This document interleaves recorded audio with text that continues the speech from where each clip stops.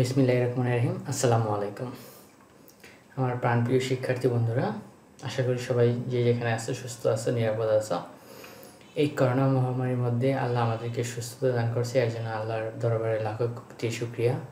আর যারা এই করোনা মহামারীতে আমাদের ছেড়ে চলে গেছেন, তাদের রুহের মাকফরাত কামনা করছি।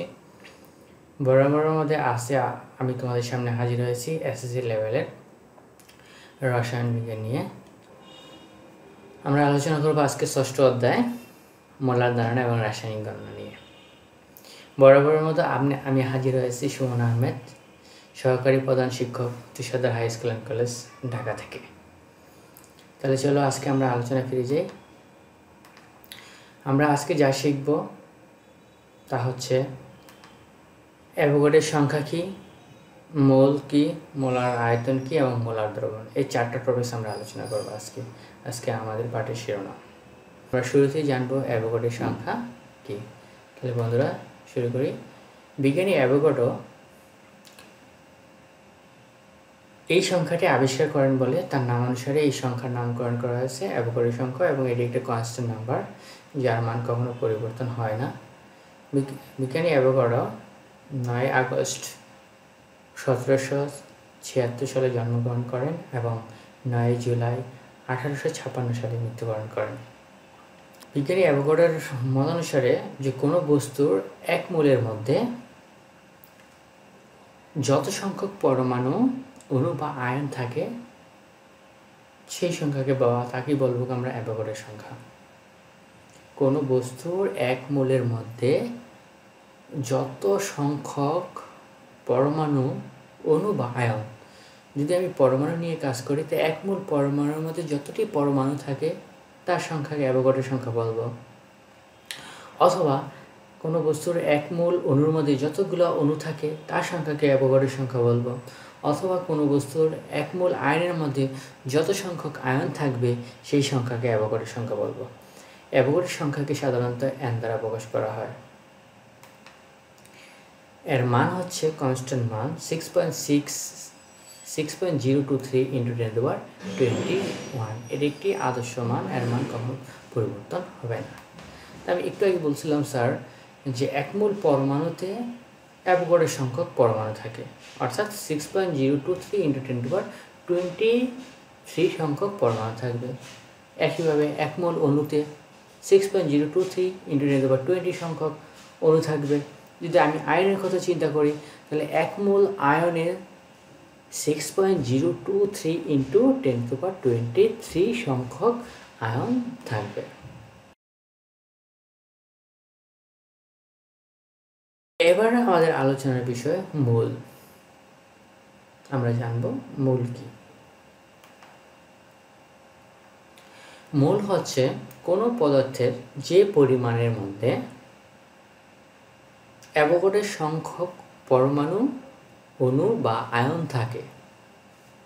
কোনো পদার্থে যে পরমাণুর পরমাণুর মধ্যে অ্যাভোগাড্রোর সংখ্যক অণু, পরমাণু বা আয়ন থাকে, সেই পদার্থ, পরিমাণকে ওই পদার্থের মূল বলব আমরা।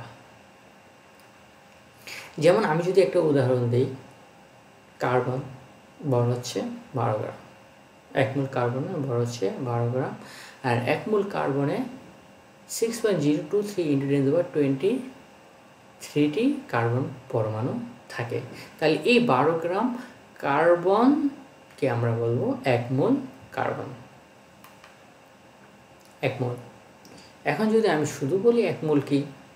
রাসায়নিক পদার্থের পারমাণবিক বর অথবা আণবিক বরকে গ্রাম এককে প্রকাশ করলে যে পরিমাণ পাওয়া যায়, তাকে ওই পদার্থের একমূল বলে। অর্থাৎ রাসায়নিক পদার্থের পরমাণুর ক্ষেত্রে পারমাণবিক বর এবং অণুর ক্ষেত্রে আণবিক বরকে যদি আমি গ্রামে প্রকাশ করি, তো যে পরিমাণটা আমরা হিসাব করব সেটাকে বলব আমরা এক মূল যেমন আমি একটু আগে উপরের উদাহরণে বলেছিলাম কার্বন পরমাণু, কার্বনের পারমাণবিক বর কত? বারো। তাহলে এই বারো গ্রাম কার্বন হচ্ছে আমার এক মূল কার্বন।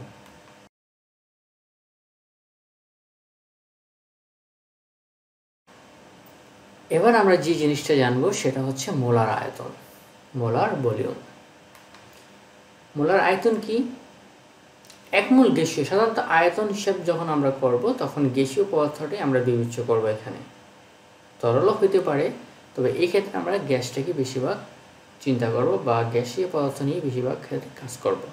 তাহলে মোলার আয়তনটা কী হবে স্যার? একমূল গ্যাসীয় পদার্থ একমূল গ্যাসীয় পদার্থ যে আয়তন দখল করে, তাকে ওই গ্যাসের মোলার আয়তন দখল করব, বলবে আমরা। অর্থাৎ এক মোল যদি আমি পরিমাণ গ্যাসীয় পদার্থ নিই, এটাকে যদি আমি একটা কোনো পাত্রে রেখে, রাখি, তাহলে এই পাত্রে যতটুকু পরিমাণ আয়তন সে দখল করবে, সেই আয়তনটাকে বলব আমরা ওই গ্যাসের মোলার আয়তন। প্রমাণ অবস্থায় যে কোনো গ্যাসীয় পদার্থের মোলার আয়তন হচ্ছে বাইশ দশমিক চার লিটার একটা আদর্শ মান। যে কোনো গ্যাসীয় পদার্থের মোলার আয়তন হবে বাইশ দশমিক চার।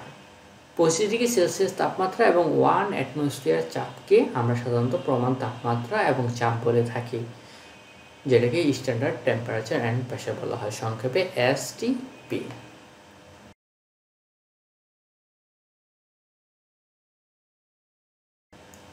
মোলার দ্রবণ। মোলার দ্রবণ।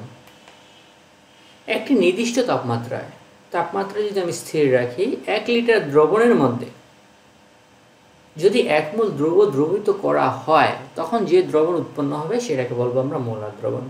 এক লিটার দ্রবের মধ্যে যদি আমি এক মূল দ্রব দ্রবীভূত করি, তাহলে যে দ্রবণটা উৎপন্ন হবে, সেই দ্রবণটাকে বলব আমরা মোলার দ্রবণ।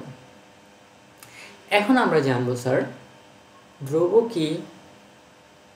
দ্রব দ্রাবক কি এবং দ্রবণ কি? দ্রব। যদি আমি সহজে বলি যে দ্রব হচ্ছে যাকে কোনো দ্রাবকের মধ্যে দ্রবিত করা হয়, তাকে বলব দ্রব। যেমন যদি আমি একবার সহজভাবে বলি, চিনি আর পানি নিলাম, তাহলে চিনির মধ্যে আমি পানিকে মিশাবো না, অবশ্যই পানির মধ্যে আমি চিনিকে মিশাবো। তাহলে আমার এখানে পানি হচ্ছে দ্রাবক আর চিনি হচ্ছে দ্রব। তাহলে আমি যদি এটা কেমিস্ট্রি ভাষায় লিখতে চাই তখন লিখব এভাবে, দ্রব, দ্রাবকে যা দ্রবিত হয় তাকে দ্রব বলে। আর দ্রাবক হচ্ছে দ্রবকে যা দ্রবিত করে তাকে দ্রাবক বলে। আর এই দ্রব এবং দ্রাবক, দ্রব হচ্ছে চিনি এবং দ্রাবক হচ্ছে পানি।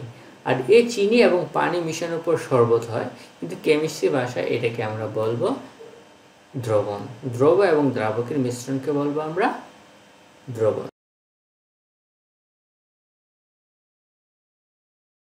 বন্ধুরা, এখন আমরা জানব মোলারিটি। মোলারিটি কি? নির্দিষ্ট তাপমাত্রায় এক লিটার দ্রবণে। দ্রবিত দ্রবের মূল সংখ্যাকে দ্রবণের মোলারিটি বলা হয়। এক লিটার দ্রবণে আমি কতটুকু দ্রাবক দ্রবিত করব? সেই মূল সংখ্যাকে বলব ওই দ্রবণের মোলারিটি বা মোলার। এই মোলারিটি বা মোলারকে এম দ্বারা প্রকাশ করব, আমরা ক্যাপিটাল লেটারে একক হবে মোল পার লিটার, সংক্ষেপে আমরা শুধু এমও লিখি। সেমি মোলার ওই মোলারিটি থেকে সেমি মোলার একই জিনিস, শুধুমাত্র সেমি মোলারের ক্ষেত্রে একটা নির্দিষ্ট মোল বলে দেওয়া আছে, সেটা হচ্ছে জিরো পয়েন্ট ফাইভ মোল। যদি এক লিটার দ্রবণের মধ্যে আমি জিরো পয়েন্ট ফাইভ মোল দ্রব দ্রবিত করি তাহলে যে দ্রবণটা উৎপন্ন হবে তাকে বলব আমরা সেমিমোলার, যার গণমাত্রা হচ্ছে zero point five mole. Decimolar হচ্ছে নির্দিষ্ট তাপমাত্রায় প্রতি লিটার দ্রবণে, অর্থাৎ এক লিটার দ্রবণে যদি আমি জিরো পয়েন্ট ওয়ান পরিমাণ মোল দ্রব, দ্রবিত করি, তাহলে যে দ্রবণ উৎপন্ন হবে সেটাকে বলব আমরা ডেসিমোলার। আর এটার মান হবে জিরো পয়েন্ট ওয়ান মোল ঘনমাত্রা হবে জিরো পয়েন্ট ওয়ান মোল।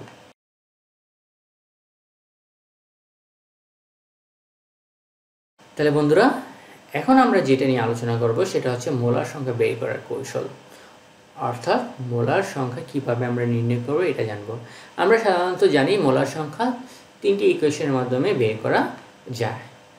প্রথম ইকুয়েশন হচ্ছে N equals W by M দ্বিতীয় ইকুয়েশন হচ্ছে N equals V by twenty two point four এবং দ্বিতীয় ইকুয়েশন হচ্ছে N equals capital N by six point zero two three into twenty three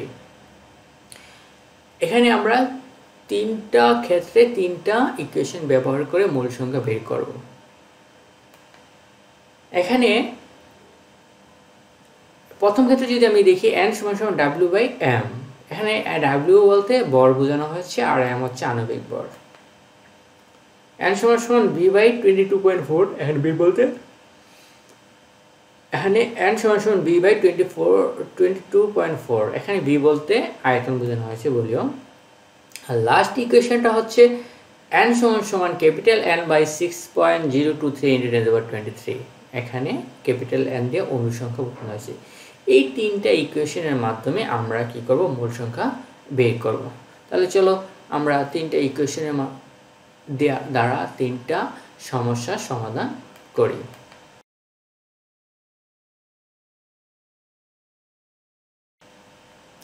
প্রথমে একটা সমস্যা আমি দেখতে পাচ্ছি, সেখানে হচ্ছে যে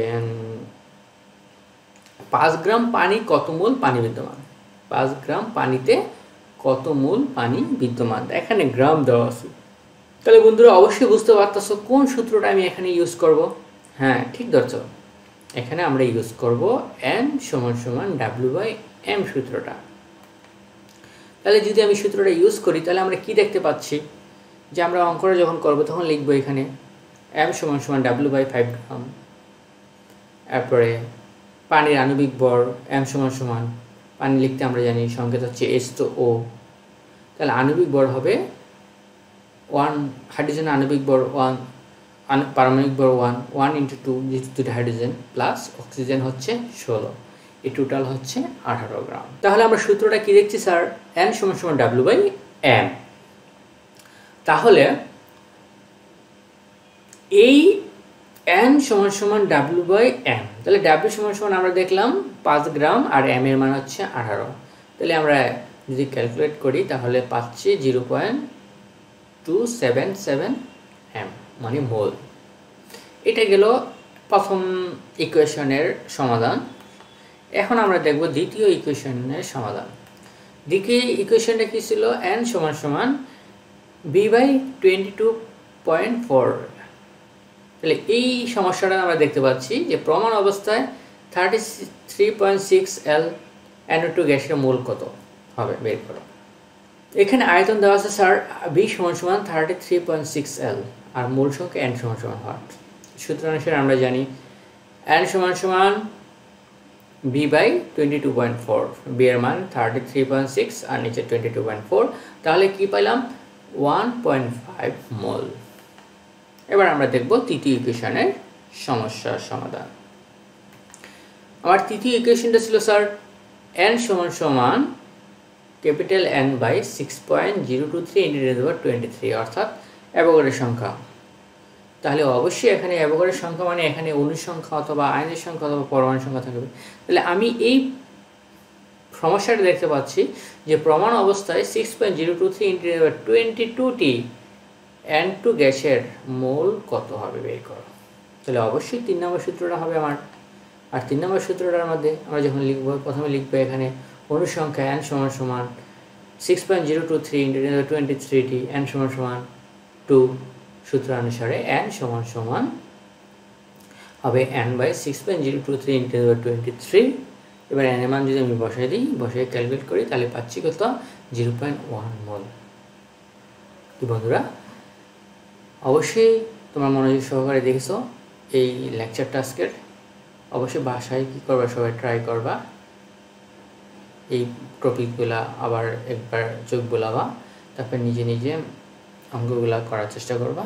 আশা করি তোমাদের কোনো সমস্যা থাকবে না। তারপরে যদি কারও কোনো সমস্যা থাকে, অবশ্যই আমাদেরকে মেসেজের মাধ্যমে নক করবা। আমরা যথাসাধ্য চেষ্টা করব তোমাদের এই সমস্যাগুলো সমাধান করে দেওয়ার। তাহলে বন্ধুরা, আজকের মতো এখানেই। আবার পরবর্তী ক্লাসের আমন্ত্রণ জানিয়ে এখানেই শেষ করছি। সবাই সুস্থ থাকবা এবং ভালো থাকবা। আসসালামু আলাইকুম।